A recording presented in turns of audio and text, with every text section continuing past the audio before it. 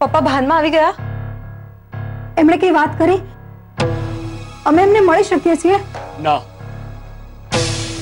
મોહનભાઈ હજી કોમામાં જ છે પણ એક વાત બહુ સારી કહેવાય કે એમના બોડીએ રિએક્ટ કર્યું એટલે ડોક્ટર તમારું કહેવું એમ છે કે મોહન અંકલ બહુ જલ્દી ઠીક થઈ જશે વેલ હમણાં તો નહીં પહેલા બાર કલાક જોઈશું પછી કહી શકાશે અને તમે પેલું ઇન્જેક્શન લઈને આવ્યા છો ને હા હાલો ગુડ આ ઇન્જેક્શનથી કદાચ મોહનભાઈમાં ફરક પડી શકે છે બાકી અત્યારે મોહનભાઈએ જે પોઝિટિવ રિસ્પોન્સ આપ્યો છે એના આધારે કહી શકાય કે મોહનભાઈએ જે રિએક્ટ કર્યું એ એમના સબકોન્શિયસ માઇન્ડનું રિએક્શન હતું સાહેબ આ હબ કોન્સી કા શું હોય સબકોન્શિયસ માઇન્ડ એટલે અર્ધ જાગૃત મગજ આપણે જાગતા હોઈએ સૂતા હોઈએ કે પછી કોમામાં હોઈએ આપણું અર્ધ જાગૃત મગજ સતત કાર્યરત હોય છે ગમતા ના ગમતા લાખો વિચારો એમાં ફર્યા કરે છે બની શકે કે એમના મગજે કોઈ એવી ઘટના જોઈ હોય જે મોહનભાઈ રોકવા માંગતા હતા. અને એમના હાથમાં મુવમેન્ટ આવી હોઈ શકે. એટલે સાહેબ હું જ્યારે મોહન હારે વાત કરતી હતી ત્યારે એના મગજને સમજાઈ ગયું હશે કે હું એની પડખે જ ઊભી છું? બની શકે છે. પણ અત્યારે તો રાહ જોવી જ રહી. પહેલા તો ઇન્જેક્શન એની અસર થવા દો. અને જો મોહનભાઈ એમની આંખો ખોલશે તો આપણે એમની પાસેથી જ જાણી લઈશું કે એમણે સબકોન્શિયસ માઇન્ડમાં શું જોયું હતું. ડોક્ટર સાહેબ હું મોહન હારે અંદર બેહી હગું. ના, મને ખબર છે કે તમારા દવાખાનાના નિયમની વિરુદ્ધ છે, પણ તમે હમણાં કીધું ને કે એનું અડધું જાગતું મગજને સમજાઈ જાય કે એની માયની આસપાસ આમ નજીકમાં જ છે. કદાચ પાછી એની આંખ ખુલી જાય ને તો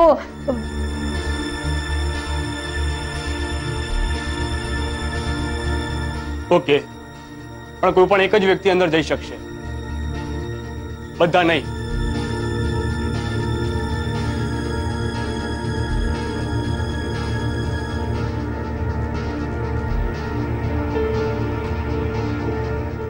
મમ્મી કિંજલને આ વાતની ખબર પડશે તો કેટલી ખુશ થઈ જશે ને રૂપેશ ચાલ આપણે એને ફોન કરીએ ના હમણાં નહીં કેમ પેલો ઇન્સ્પેક્ટર રાણા આવ્યો છે ને સવાલ જવાબ કરવા ઇન્સ્પેક્ટર રાણા મારી રે પણ પણ સાહેબ મેં શું કર્યું છે ચૂપ ખોટું નહીં ખોટું નહીં બોલવાનું લાગણી નહીં ફક્ત અને ફક્ત લોજ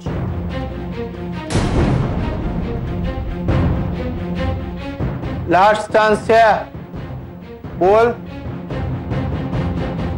ઘરમાં ગયો તો કે નતો ગયો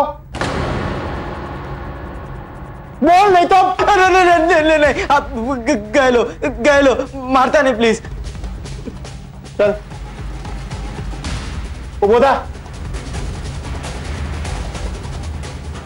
જોઈ શું રહ્યો છે પોલીસ મારવા માટે નહીં મદદ કરવા માટે હોય છે બોલ બોલ ખોટું કેમ બોલ્યો કે તું ઘરમાં નહોતો ગયો બોલ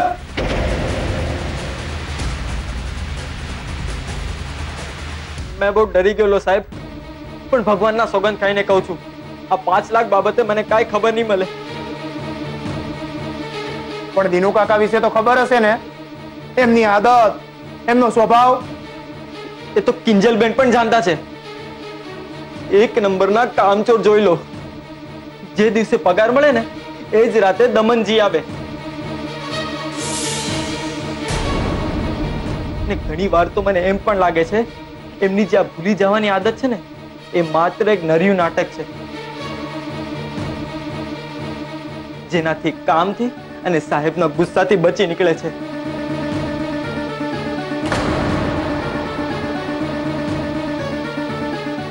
તને શું લાગે? આ પાંચ લાખની ચોરી દિનુ કાકાએ કરી હશે? વિચારીને જવાબ આપજે. આ પાંચ લાખની ચોરી દિનુ કાકા કરી શકે ખરા?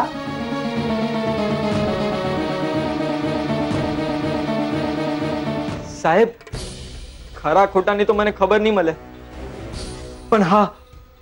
આજકાલ રાહુલભાઈ અને ધીનુ કાકાની દોસ્તી બહુ વધી ગઈ હતી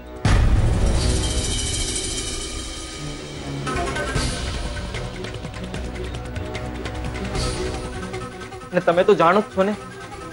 કે રાહુલભાઈ કેવા છે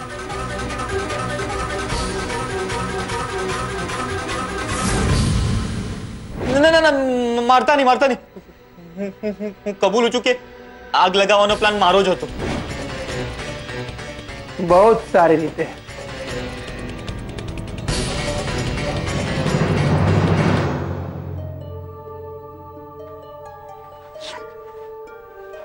હવે તો મને લાગવા લાગ્યું છે કે આ દીનુ કાકા મને મામું બનાવીને સરકી ગયા છે ફોન પણ બંધ આવે છે હવે પકડવો તો પકડવો ક્યાં એમ નથી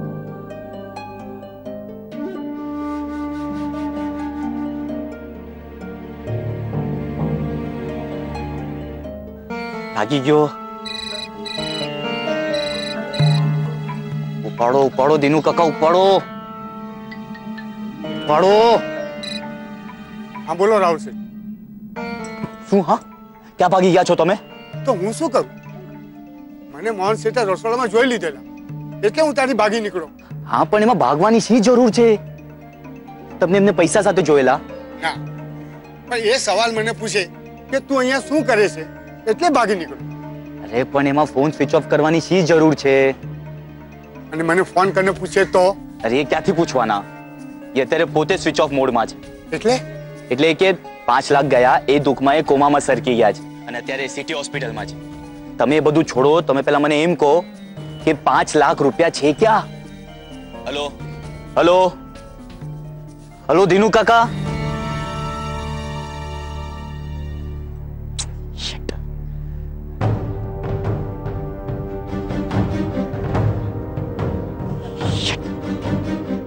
ધીનુ કાકા હું તમને છોડીશ નહીં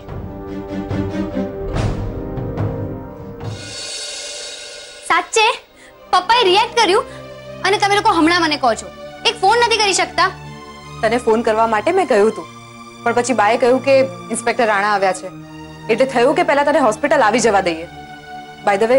શું કીધું ઇન્સ્પેક્ટર રાણાએ ઇન્સ્પેક્ટર રાણા કઈ બોલવામાં માને છે એ બિચારો ગુલાબ ગુલાબનો તો ગાલ લાલ કરી નાખ્યો પૂછ ઉત્કર્ષ અને દીનુ કાકાનું શું થયું મળ્યા કે નહીં ના પણ ગુલાબ કહેતો હતો કે દિનુ કાકા અને રાહુલ બંને મળેલા છે આ તો હદ કહેવાય રાહુલની એટલા માટે જ મેં કહ્યું હતું કે એને જેલમાંથી છોડાવવાને લાયક જ નથી પણ તારે એને ચાન્સ આપવો તો પણ કૂતરાની પૂંછડી વાંકી તે વાંકી તારા પાસપોર્ટના પેજીસ ફાડી નાખ્યા અને હવે આ ચોરી એ બધી વાત જવા દે તું મને પપ્પાની વાત કર કે પપ્પાની પહેલા આંખ ફરકી હતી કે હાથ હલ્યો હતો ગ્રેટ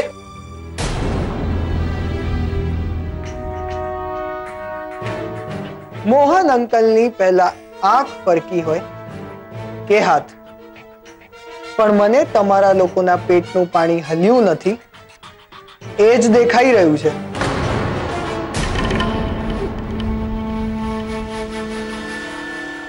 કેમ આવું બોલી રહ્યા છો સુશાંત તો બીજું શું બોલું તમે લોકો ડોક્ટર જે દવા લખી આપે છે એ દવા લઈ આવો છો સસ્તી મોંઘી એ જોતા નથી અને હવે તો દવા પણ ઓનલાઈન ઓર્ડર થઈ શકે છે ને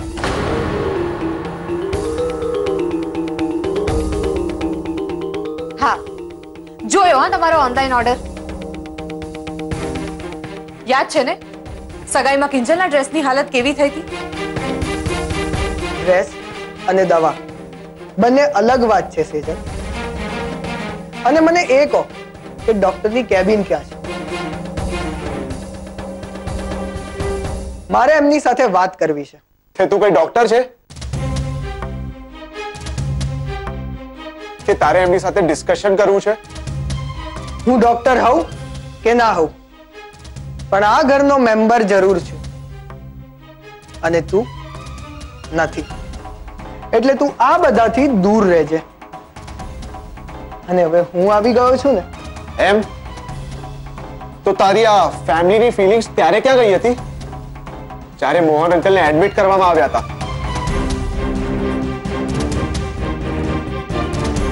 પાછો બીજા દિવસે ફોન કરીને એમ નથી પૂછતો કે મોહન અંકલની તબિયત કેમ છે કિંજલ ક્યાં છે કિંજલને જગાડો નવ વાગી ગયા એવું ભાષણ આપે છે મને શું સુશાંતનો ફોન આવ્યો હતો અને તે મને કીધું પણ નહીં ઉત્કર્ષ એના માટે ઉત્કર્ષ પર શા માટે બ્લેમ નાખે છે કિંજલ ઘોડા વેચીને તો તું સૂતી હતી માણસ ઉઠીને ફોન તો ચેક કરે કે ના કરે અચ્છા એટલે આ બધો પણ કિંજલનો જ વાંક this is too much Sushant ડોક્ટરની કેબિન આગળ જઈને રાઈટમાં છે તમારે જેટલા પણ સવાલો કરવા હોય ને ત્યાં જઈને પ્લીઝ કરી સારું કિંજલ તારે આવું છે કે નહીં ના મારે પપ્પાને મળવું છે ફાઇન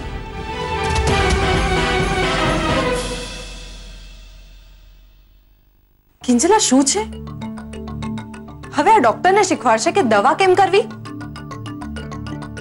તું એને કઈ કહેતી કેમ નથી ઉત્કર્ષે પણ તો મને નહોતું કહ્યું કે સુશાંતનો ફોન હતો હા નહોતું કહ્યું જાણી જોઈને નહોતું કહ્યું આમ આખી રાતના ઉજાગરા અને આટલા ટેન્શન બાદ અને માંડ માંડ ઊંઘ આવી હતી કિંજલ અને માણસ પરિસ્થિતિ જોવે સમય જોવે પણ સુશાંત તો એવી રીતે બોલી રહ્યો હતો જાણે કે હું અને કિંજલ હોસ્પિટલમાં નહીં કોઈ કેફેમાં ફરવા ગયા હોય અને એને અમને રંગે હાથો પકડી લીધા હોય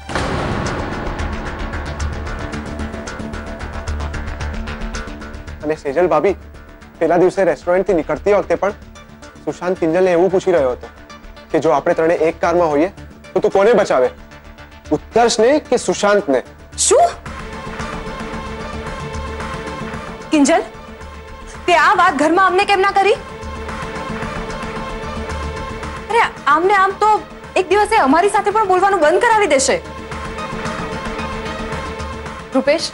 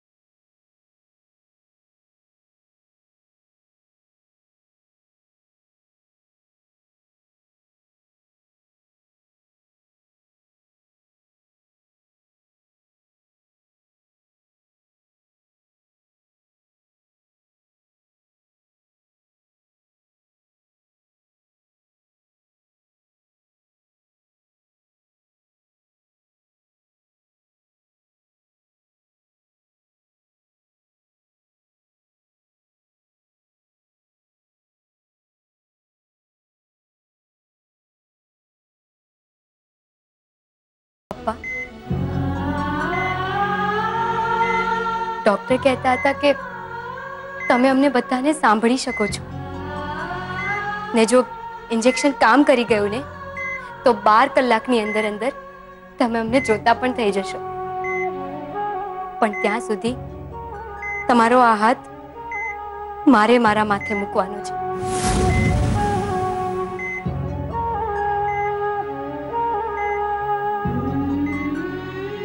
એટલે ખાસ કહેવા આવી છું કે ઇન્સ્પેક્ટર રાણાએ ચોરીની તપાસ શરૂ કરી દીધી છે. ને પપ્પા,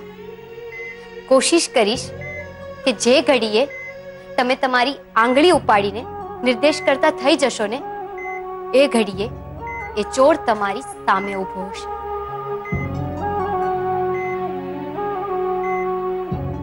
પપ્પા, તમારી કિચનને આશીર્વાદ આપો કે જેણે તમારા સપના પર મારા પપ્પાના સપના પર તરાપ મારવાની કોશિશ કરી છે ને એનો હું આખે આખો પંજો પકડી લઉં ને એ ગુનેગારને તમારી સામે ઊભો કરી દઉં આશીર્વાદ આપો પપ્પા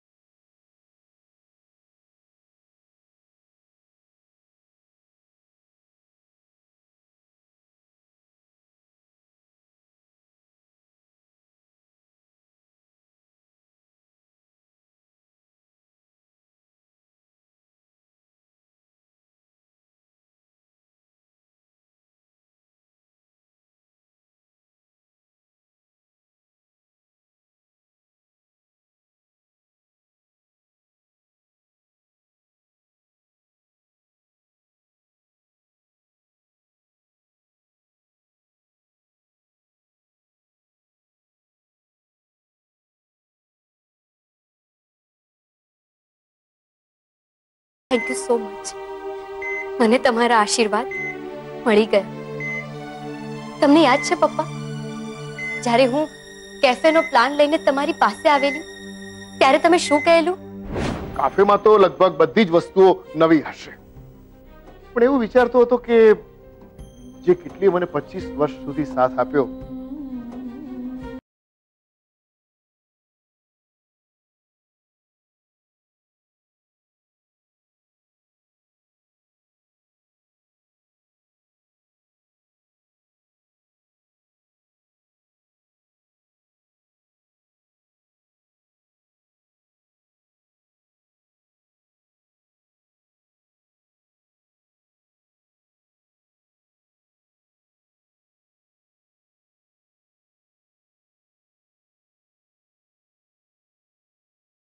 દુશ્મનો સામે ટકી રહેવાની આ તકિયામાં તાકાત છે તો આજે મારું તમને વચન છે કે કેફે તો બનશે ને એ કેફેમાં એ સૈનિકની સાથે સાથે એનો આ કમાન્ડર પણ મોજૂદ હશે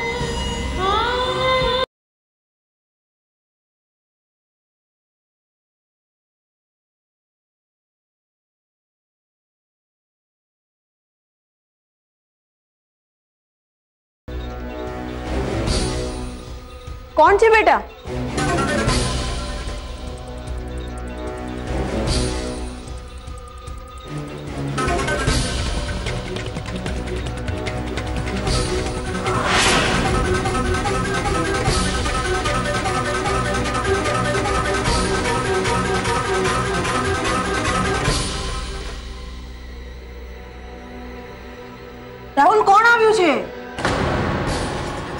અરે ક્યારની પૂછી રહી છું કોણ છે બોલ ને